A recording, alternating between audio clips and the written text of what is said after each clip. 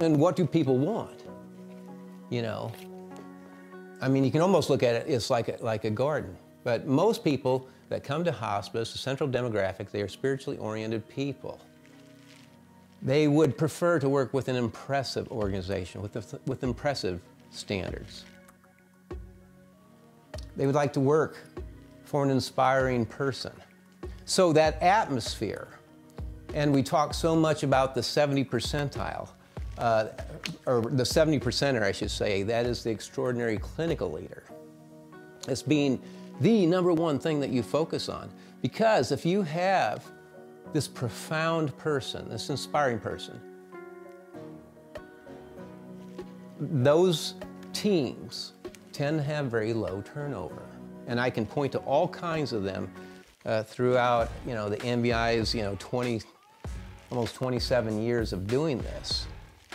And you will find in all the lowest turnover situations a profound, impressive person living an amazing life. I know that, and, and, and the problem with some best known patterns or practices is, is you go, oh my God.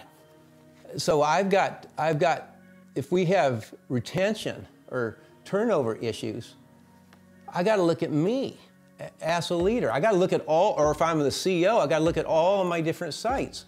I basically, I'll just say this, you, I have to get out the mirror.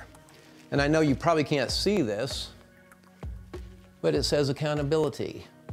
It also says, you know, your experience of life.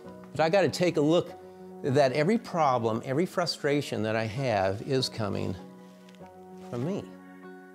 And, and the point that we get to accept accountability for our organization, where we own every number, we own every result, that is where the great transformations happen.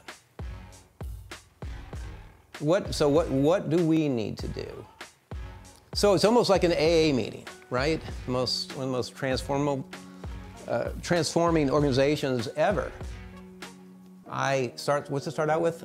The 12-step program, I am an alcoholic. Or in this, I, or we have retention issues. We have issues or problems. Nobody responds to our ads, whatever. So we, rather than saying playing victim and saying, well, the external world, everybody's having problem, all these weenieisms. The challenge is to grow up and become that impressive organization with impressive leadership.